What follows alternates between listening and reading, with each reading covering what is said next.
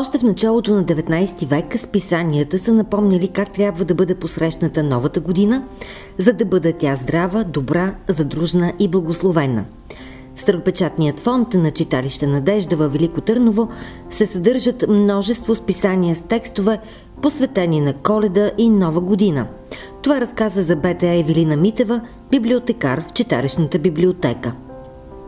В самите списания, освен коледни текстове, като народна песен, можем да представим и една песен за нова година или стихотворение за нова година, защото не знаем как е било изпълнявано в списвания Нова мода календар на Петко Славейков от 57 година. Това е честитене на новата година и пише, че е за коледари.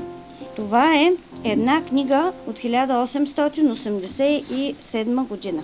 Казва се Баба Яга или сборник от различни вярвания, народни лекувания, магии, баяния и обичаи от Кюстендилско и е списвана от Петър Любенов. Тук всъщност се срещаме за първ път с това какво трябва да се прави през месец декември и какво се изисква, за да бъдат отпразнувани Бъдни вечер и Рождество Христово с коледарски благословии.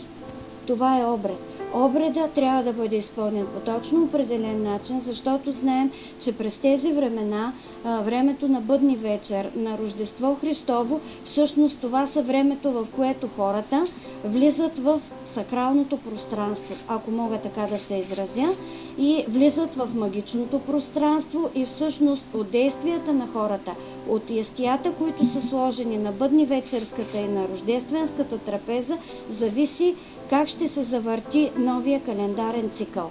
Не случайно през декември месец е единствения ден или игнажден, времето в което езически се казва, че се ражда младия Бог. И от хората, които изпълняват тези обреди, зависи да тръгне новата година по правилния начин. Нещо интересно, което намерихме друго с моята колежка е как са организирани различните човешки дейности през декември месец, за да могат хората да посрещнат новата година. Това са, ето тук в този текст от списание Летоструй е представено какви селско-стопански дейности се извършват през декември, за да може да се подготви новата аграрна година. И нещо много интересно, ето в книжен имот за децата, списван от Живкин. В началото на годината започва с една приказка за честита нова година. Хубавото е, че на малкото странички, на които е представена тази приказка, има начина по който едно дете трябва да се държи в обществото, начина по който трябва да поднесе поздравления на различни групи хора. описано е също колелото на живота – по думите, това е разговор между баща и син и всъщност представлява честитка на детето към неговите родители по случай новата година.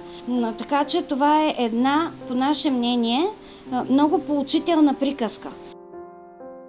Това е една наздравица, казва се Свети Мена помощник, Свети Йоан Злату, Свети Филип и он да ни помогне извади оведел рай Божи.